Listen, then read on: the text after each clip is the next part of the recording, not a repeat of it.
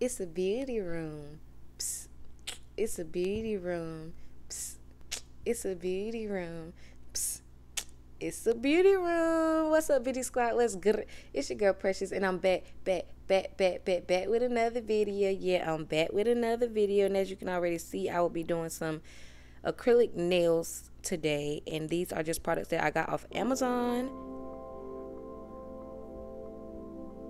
I'm gonna start off with my drill, and I'm gonna use the medium sanding band, and I'm just gonna buff away any gel polish that was left on my nails. Then I'm going to soak my nails in pure acetone to get rid of the acrylic that I had on my nails. And then I'm going to use a cuticle pusher to push the acrylic away as it softens.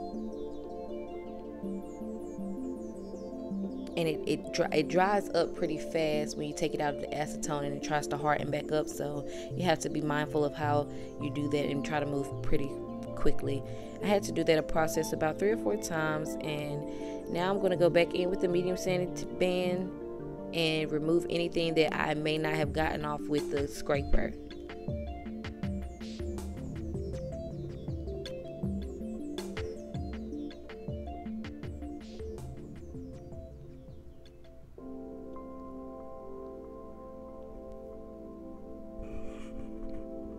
Now I'm going to go in with my cuticle pusher and push back my cuticles.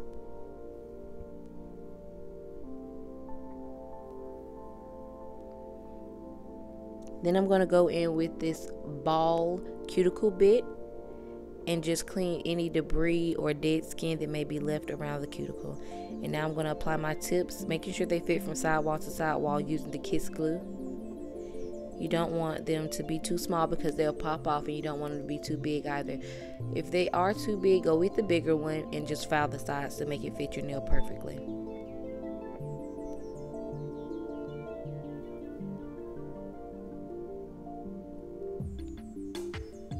And I'm going to do a sculpted nail or a nail form nail and right here I'm just debating which nail that I want to do and as you can see I went with the pinky nail to sculpt and now I'm just going to cut my nails to my desired shape. And then I'm go, going to go in with the nail file to smooth, to sharpen up that shape. And I am using the 80 grit sanding band nail file, I'm sorry. And then I'm going to go in and I'm going to blend that artificial nail with my natural nail using light strokes with the 80 80 grit sanding.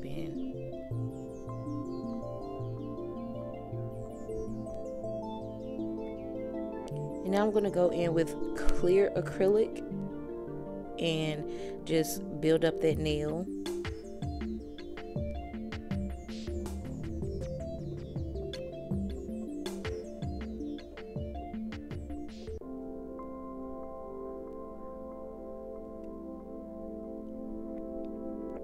And now I'm going in with a creamy white color.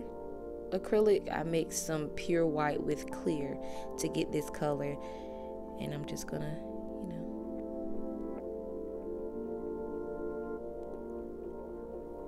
I'm going in with a thin layer to start off and I'm just building it up working my way down to that cuticle because you would like I want to keep a nice clean cuticle and then I'm going to encapsulate this with the clear so that when I go in with the drill I won't buff away any of the color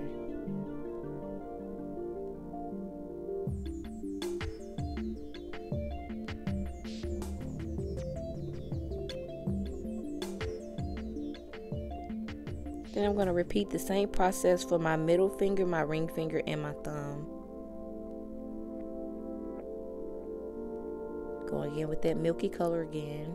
Working my way down to the cuticle.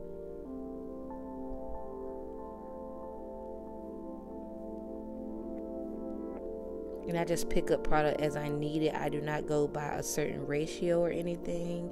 Just pick it up as I need it. Building up that nail.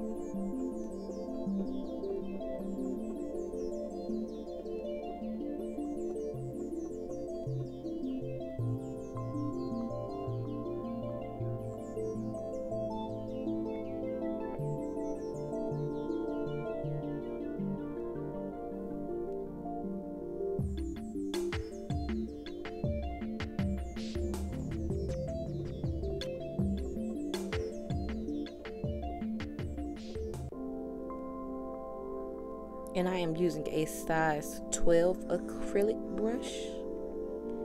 Then I'm going to go in with the pink for my pinky. It's a Cover Pink by Mia.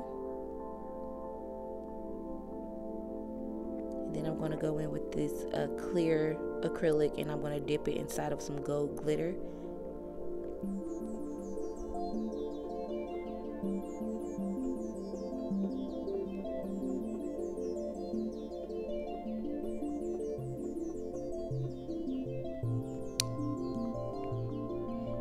These are my nails before I shape and buff them.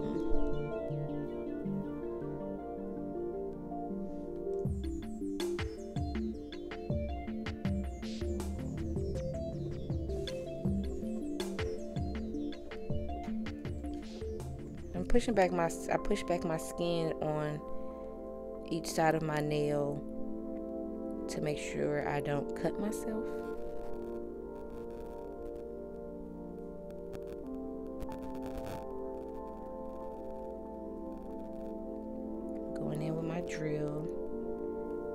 Just shaping my nails, buffing my nails, and cleaning up that cuticle area.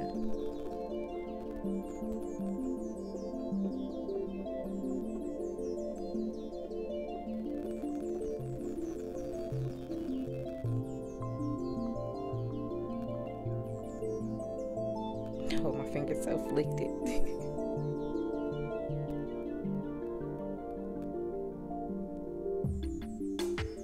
and now I'm going in and I'm doing that unicorn nail that you see. I'm just using, angling my drill to achieve that look. Now I'm just buffing away any lines or marks that may have been left. Alrighty y'all, here's the finished look. If you enjoyed this video and you would like to see more nail tutorials, let me know down in the comment section below. And make sure you like this video, subscribe to the channel, turn on your post notification bell. Until next time, Beauty Squad. Peace.